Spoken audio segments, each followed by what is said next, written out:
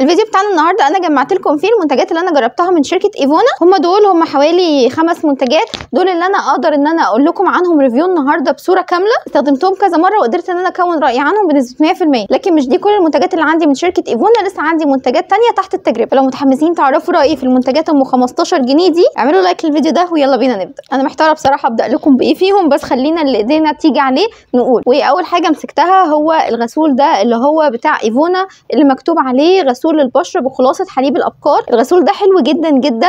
هو بينظف البشرة كويس بس هو خفيف قوي. بمعنى إيه خفيف؟ هو قوامه من جوه يعني لما ترجيه كده تحسي إن فيه مية جوه. هو فعلا قوامه عامل زي قوام اللبن بالظبط لأن هو مكتوب عليه إن هو بخلاصة حليب الأبقار. فتحسي إن انت بتستخدمي يعني مية بلبن بالظبط على بشرتك. لو هنقيمه من حيث تنظيفه للدهون هو مش بينظف الدهون بصورة عميقة قوي. بس أنا عجبني بقى تنظيفه في حتة تانية خالص. هو أشبه بال toner شوية أو أشبه يعني بال effect اللي بيعمله ال toner على البشرة. لما بيكون عندك toner وبتحطيه على ديسكات قطن وتبدأي إن انت تمسحي بيه بشرتك. عارفة النظافة اللي بتحصل لك في بشرتك بعد استخدام ال toner؟ هو بالظبط ده نفس المفعول بتاع الغسول ده. أنا شخصيا بستخدمه بالليل في ال night routine بتاعي بغسل بيه بشرتي بعد ما برجع من بره علشان يشيل بقى أي آثار ميك اب موجودة أو علشان ينظف البشرة عامة من أي أتربة أو اوساخ اتعرضت لها البشرة وهي بره. بس مش بستنى منه خالص إن هو ينشف بشرتي من الدهون أو من الزيوت وده بصرف النظر عن طبيعة البشرة. حتى لو انت بشرتك جافة هو أصلا مش بيشتغل على الحتة دي. يعني هو مش هتلاقي منه إن هو بينظف الدهون هو هينظف لو انت على وشك تراكمات اوساخ أو أتربة أو ميك اب هيشيلهم بالظبط زي ما بيعمل ال toner. وبرغم إن أنا ما كنتش من المدرسة اللي بتأيد استخدام غسول مرتين في اليوم إلا إن أنا بعد ما جربت الغسول ده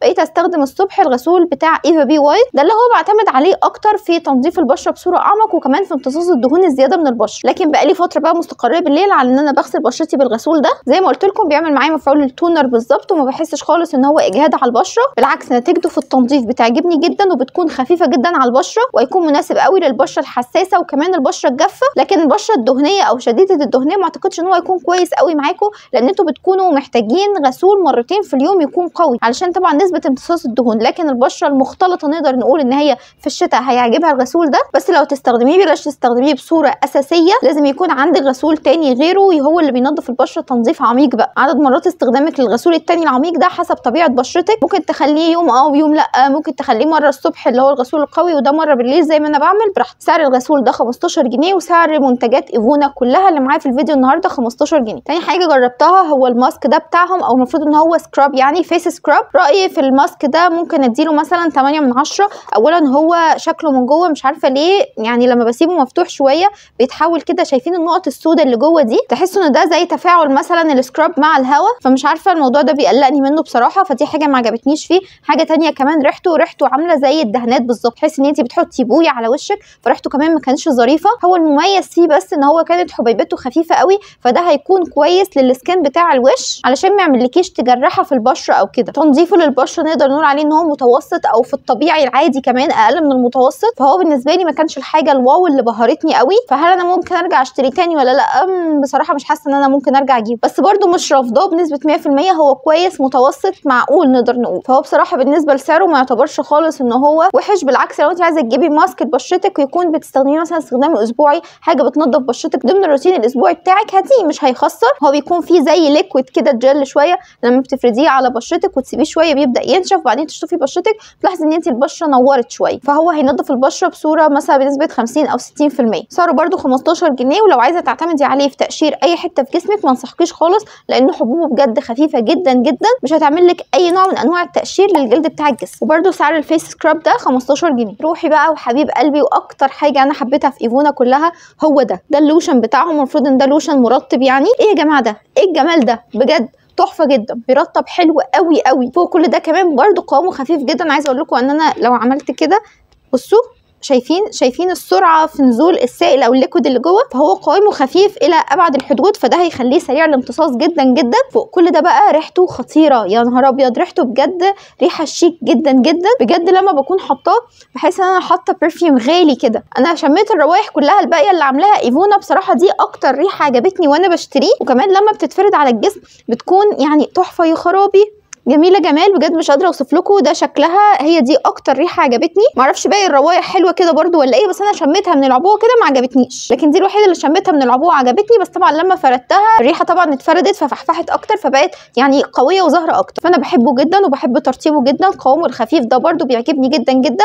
فوق كل ده ترطيبه كمان بيستمر مدة كبيرة. يعني عايزة أقول لكم إن أنا أول مرة استخدمته فضلت بعدها حوالي أربع أو خمس أيام ما رطبتش جسمي وده كان عن قصد إن أنا مستنية أشوف انت اخرك معايا قد إيه؟ أنا عايزه اعرف أنا إمتى هبدأ احس بجفاف في جسمي تاني علشان ابدأ أحط لوشن جديدة وابدأ ارطب من تاني. وده عايزه أقول لكم يمكن من اكبر الارقام اللي أنا وصلت لها ما اقعد فيها ما رطبش جسمي يعني. فكان دايما طول الوقت جلدي ناعم وملمسه جميل. عشان اكون صريحة هي ريحته مش ثابتة قوي يعني. ريحته ممكن تقعد معاكي مثلا 12 ساعة من بعد الاستخدام. يعني أنا لما باخد shower اللي هو ال shower العميق ده بقى كده دايما بيكون ال shower ده آخر الليل وبحط طبعا منه وبعد كده بنام وبصحى الصبح وبخلص التصوير اللي ورايا وبنزل أروح الشغل في نص اليوم كده ببدأ أحس إن ريحته بدأت لأ تقل شوية تكاد تكون قربت تختفي. فده بيكون بعد ما عدينا يعني من 12 ل 15 ساعة من ساعة ما خدت ال shower. فاللوشن ده بالتأكيد أنا لازم لازم أرجع أشتريه تاني واصلا ال 15 جنيه دي ولا حاجة بالنسبة له. بالنسبة لموضوع ال shaving أو يعني إزالة الشعر بنفضل إن انت بلاش تحطيه بعد إزالة الشعر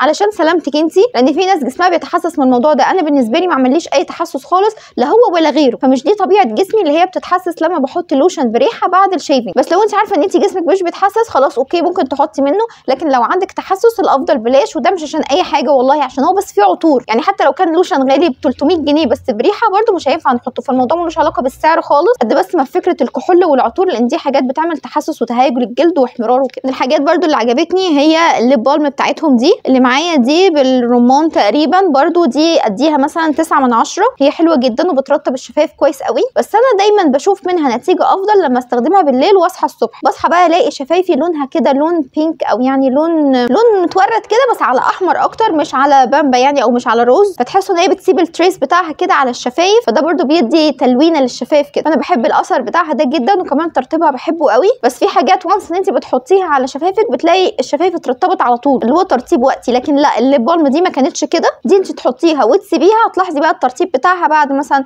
أربع ساعات خمس ساعات ممكن تاني يوم الصبح. فأفضل وقت تستخدميه فيها وبجد بالليل قبل ما تنامي حطي منها واصحي هتلاقي شفايفك يعني رايحة في حتة تانية. في حاجة بس مش عجباني فيها هي قوامها خفيف شوية. يعني أنا لما باخد كده بيطلع معايا كتير قوي فده بيهدر منها جامد بس هي فيها بجد نسبة زيوت كويسة. أنا حاساها على إيدي لما باخد منها بصوابعي فده بيخليها بترطب الشفايف. ترطيب جميل وال package كمان صغنونة وعسولة شبه Vaseline Lip Therapy بالظبط. فلو برده سألتوني هل هرجع أشتري دي تاني أو برده هرجع أشتريها لأن هي عجبتني وحلوة قوي. آخر حاجة معانا بقى هو ال splash بتاعهم. ده برده لسه نازل جديد زي أغلب ال products كلها اللي أنا جبتها. عايزة أقول لكم أنا بستخدم ال splash ده بقالي شهر ونص نقدر نقول. وطول ما أنا قاعدة كل شوية فس فس فس فس كل شوية برش منه. وهم دول بس الحبة اللي خلصوا منه. أنا مش عارفة إزاي بجد. تحسوا إن ال pump بتاعته موفرة قوي. هي بتوزع ال splash على مساحة واسعة جدا. فأنت بتاخدي منه رشتين كفاية بيكفوكي كل ال splash ده بلاش نحطه خالص على الجسم. بيتحط على الهدوم. لكن هو كريحة ريحته تحفة برده اللون الأزرق اللي معايا ده مش عارفة اسمه إيه بس هو مكتوب عليه 60 22 فهو نقدر نقول عليها كلونيا. هي فعلا عاملة زي المية المعطرة كده. هي كلونيا. ما فيهاش تقريبا نسبة كحول عالية. عشان كده مش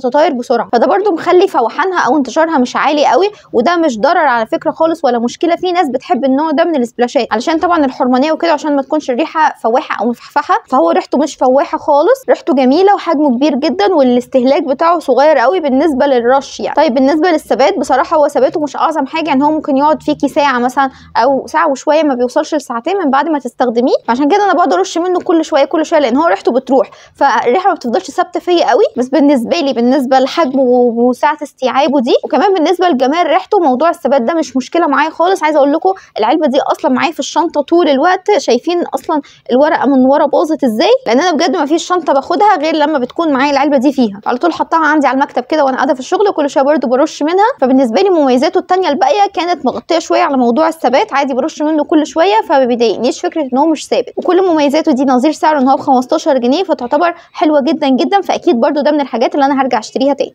وبس كده ده كان الفيديو بتاعنا النهارده. لو عندكم أي أسئلة أو استفسارات اكتبوا لي في ال comments هرد عليكم كلكم. ما تنسوش like و subscribe وإن شاء الله أشوفكم فيديوهات جاية كتير. سلام.